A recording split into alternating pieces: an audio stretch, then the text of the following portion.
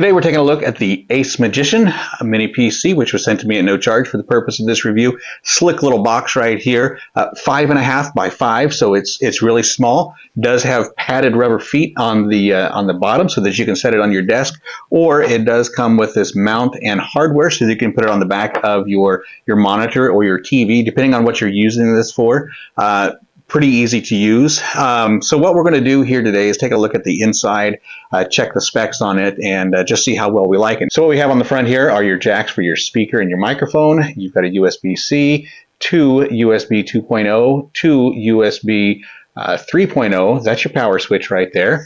And then you also do have your uh, your DC in. You got two LANs, uh, then you got your DP, then an HDMI, and two more USB 2.0s. So it does come uh, preloaded with um, Microsoft 11 Pro. So let's get this boot it up and take a look at what's inside. So what we're looking at here is a processor of an Intel N95 1.7 gigahertz. And if you do any research on that, you'll find that it has a turbo boost of 3.4 gigahertz.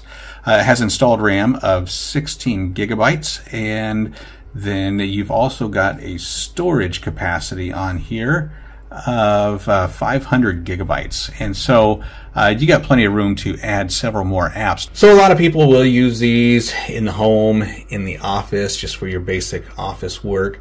Uh, other people will use these to set them up as gaming emulators so that you can play all of the old school games like a Sega Genesis or Nintendo 64 or, or things of that nature. And, and having it uh, attached to the back of your monitor or your TV screen is, is an ideal situation. You would have to get a, uh, a Bluetooth remote to, uh, to work all of those, those games and, and to go through your uh, settings and your, uh, your gaming options. Um, but then there's still other people who will use this as an entertainment uh, device and uh, set up their own high-powered Fire Stick and not have to be uh, throttled back by any of the um, the Amazon parameters and, and so you've got free will at that to, to add your Kodi to it, your your Amazon Prime, Netflix, Hulu, and all of your other streaming sources. So you can see I do not have the best internet, but I do have enough speed to uh, to download and to watch uh, live stream uh, TV shows if I wanted to use it that way, or I can just use it down here in my studio for my office work, so I don't have to have all of it onto my uh, onto my laptop. So the mini PC does have a solid state drive, so it is a a quick hard drive. It goes and grabs what you need, and it's also an expandable memory.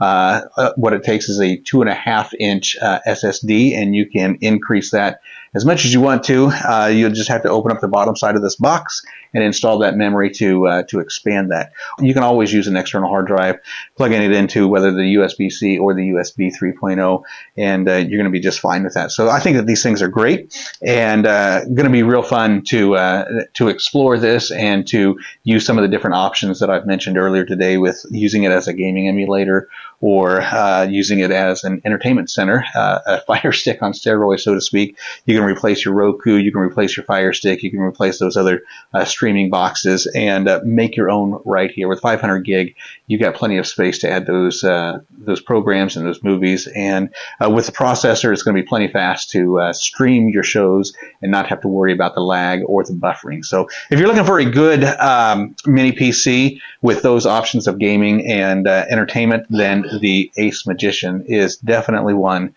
that's worth taking a look at.